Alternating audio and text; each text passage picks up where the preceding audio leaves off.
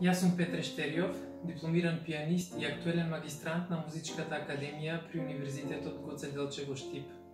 Денес работам како професор на Музичката академија во градот Сан Гилан во Белгија.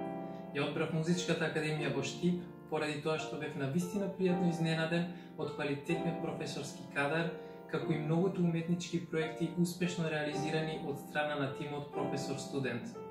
Благодарение на високо квалификуваните професори, одличната атмосфера, како и извонредните услови за работа, се стекнав со квалитетно знаење и сериозна подготовка која соодветствува со високите европски образовни стандарди.